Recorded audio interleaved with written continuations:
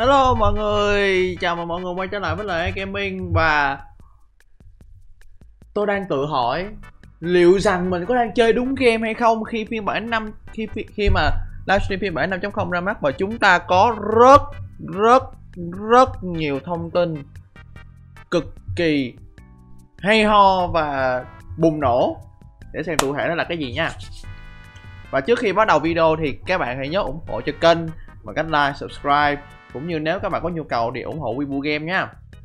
Rồi bây giờ bắt đầu thôi. Rồi đầu tiên chúng ta hãy cùng đến với thông tin mà nhà phát hành đã cho chúng ta về phiên bản này nào. Đầu tiên đỉnh cao nhất. Ra tất cả đều là đỉnh cao cả. Đó chính là việc chúng ta sẽ nhận được một nhân vật năm sao thường ở mỗi đầu phiên bản uh, mỗi kỷ niệm mỗi năm. Uh, năm.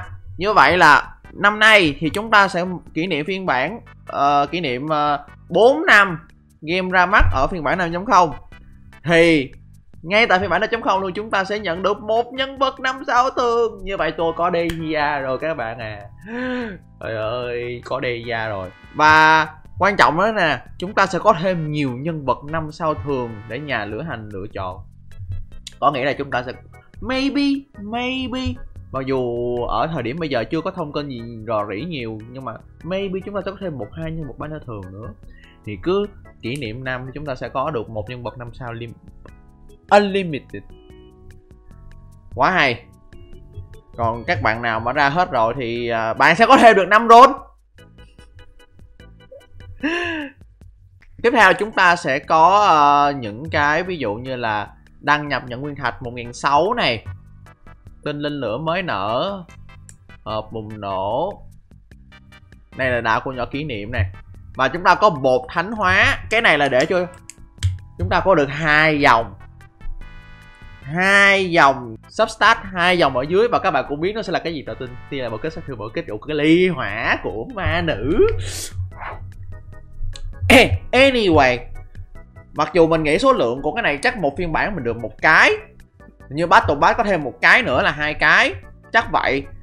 Tùy vào số lượng ha. Nhưng mà đây sẽ giúp cho đỡ cho chúng ta rất nhiều trong việc chúng ta đi farm. Dễ dàng hơn cho chúng ta đi farm.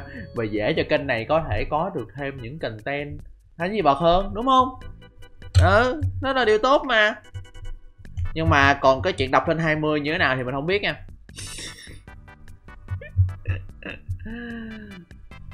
Rồi, ngoài ra chúng ta sẽ có điểm danh. 11 viên vương vấn này cái này là uh, theo đầu 5.0 hoặc là Tết hay gì đó cái này cũng có rồi cái này thì bình thường rồi ha. Và khi chúng ta bước qua 5 chấm chúng ta sẽ được x2 nạp lần đầu. Cái này cũng biết rồi. À. cho những bạn nào nạp. Cái này thì lại khác này chúng ta sẽ có được ba vũ khí uh, rèn 4 sao mới ngay lập tức luôn khi chỉ chỉ cần sự kiện web thôi chỉ cần các bạn tham gia sự kiện web thôi thì cái này là một cái khá là nice.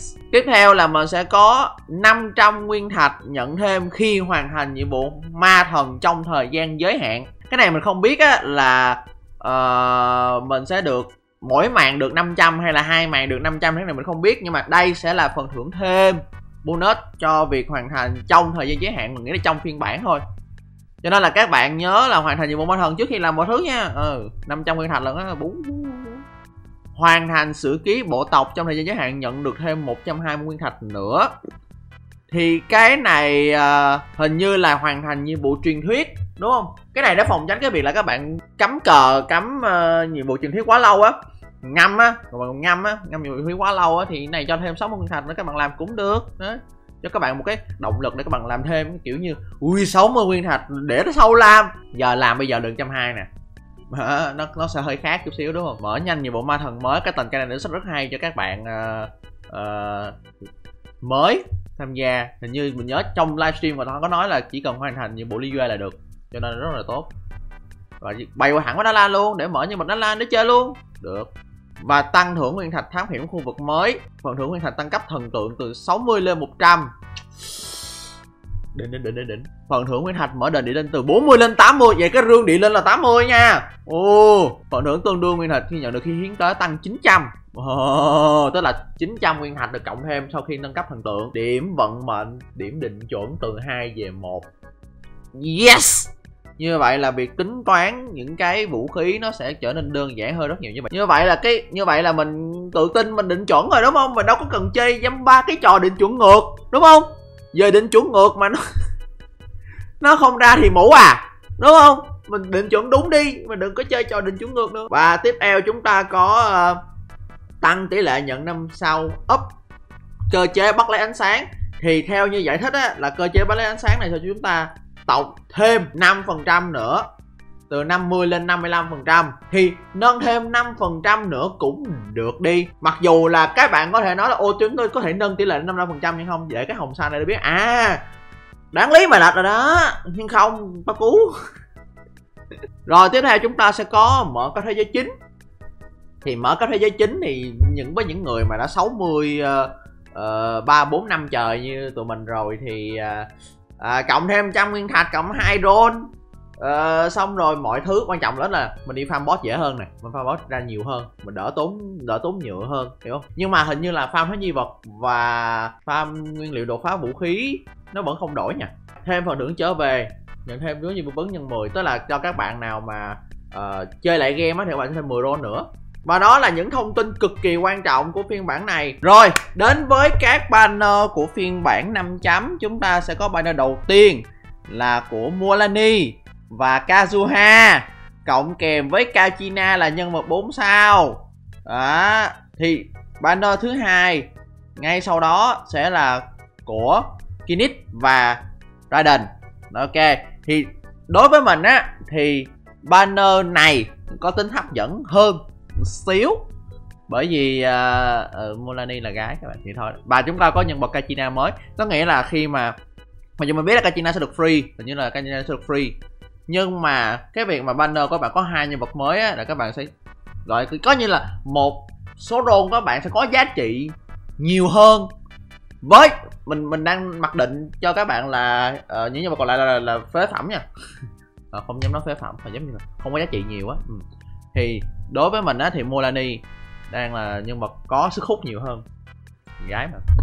Rồi à, mình không nói là về Kinect là nhân vật uh, tại hay gì nhưng mà trong Molani là gái cho nên là dính hết ha. Rồi mình sẽ nói về hai nhân vật còn lại.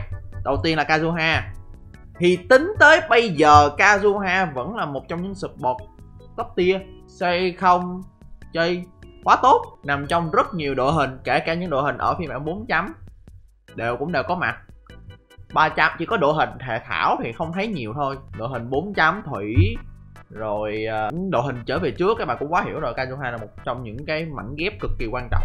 Còn nếu mà kazuha không có thể thay thế được thì bản thân kazuha có khả năng gom quái cái chuyện này rất tốt trong lao hoàng thậm chí là trong cả uh, uh, nhạc nhà hát đúng không? Thì việc mà các bạn có Kazuha nó cực kỳ tốt cho team cho khả năng gây sát thương gom quái để uh, thực hiện combo. Mình sẽ đánh giá Kazuha cao hơn Shogun một chút.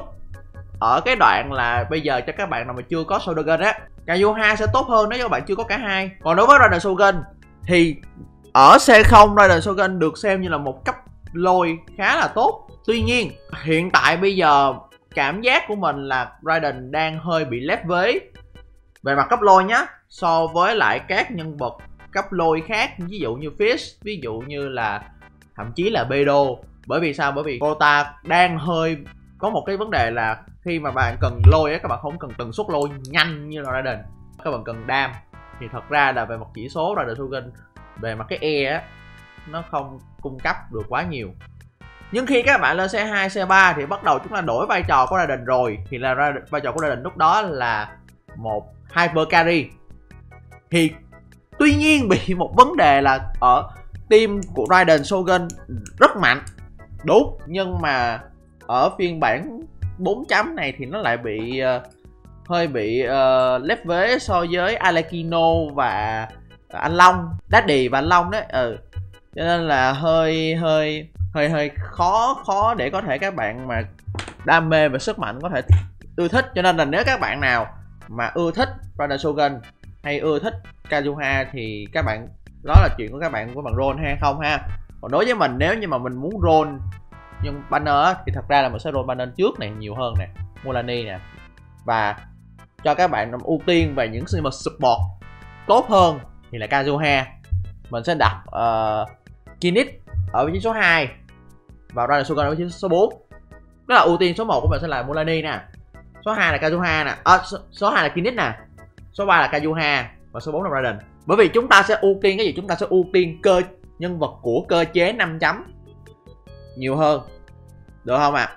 cả hai nhân vật Kinect và Mulani trong hoạt ảnh đều có khả năng di chuyển khả năng đi map cực kỳ tốt. Kể cả Kachina cũng được nữa. Cho nên là cái việc mà Ron banner mình sẽ bỏ tiền ra mình à, bỏ nguyên thạch ra để mình roll banner này. Về mặt vũ khí chúng ta sẽ có hai cây vũ khí mới thì mình sẽ không bàn về hai cây vũ khí này mà sẽ chỉ bàn hai cây đi chung năm sao đi chung thôi. Đó là cây uh, tự do lời thề tự do cổ xưa và cây đoạn thảo trường đao của uh, Raiden. Về đầu tiên mình sẽ nói trước về cái cây uh, uh, lời thề để coi cổ xưa. Thật ra đây là một cây tốt nhưng nhưng vấn đề là gì? Vấn đề là bản thân Kazuha thật ra nhá cầm cây này cũng không phải là 100% ổn. À, nói thế nào nhỉ? Tức là chúng ta có một phiên bản 4 sau hoạt động tốt hơn đó là cây Seaforce lại trời hy vọng Seaforce vô banner vũ khí. Dùm. Thì Seaforce nếu các bạn search ra thì các bạn sẽ thấy option của nó tốt hơn.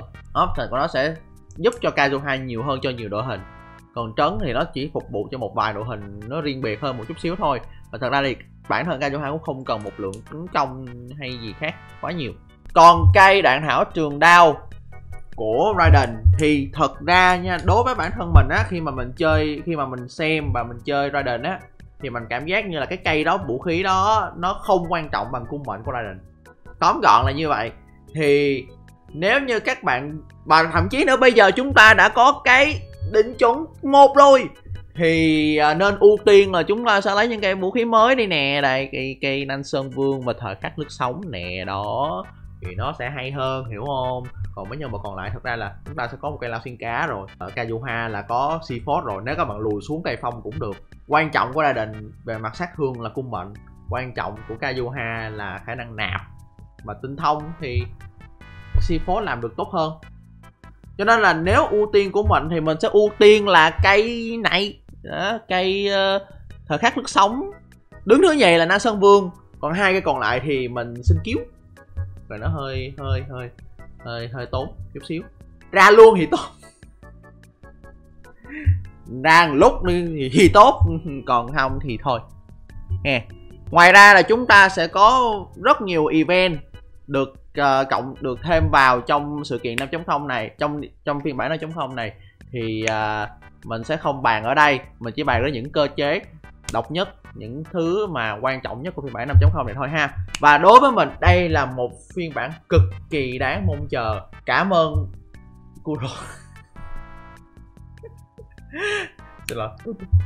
Cảm ơn các nhà nhà phát hành ờ, của Genshin đã cho chúng tôi những cái quyền lợi rất là tốt như thế này. Thật ra đó là điều mà mà tụi mình đang rất rất cần đang thực sự cần để có thể chơi có cái trải nghiệm chơi game một cách tốt hơn. Bởi vì đây là năm thứ tư chuẩn bị qua năm thứ năm uh, chơi game rồi. Thì nhà nước phát hành phải nên làm một cái gì đó chứ đúng không nè? Đúng không?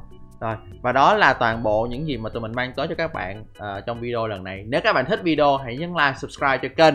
Và nếu như các bạn có nhu cầu thì ủng hộ Vivo Game nhé còn bây giờ chờ năm chút cấu đó ổng chặt mày lại.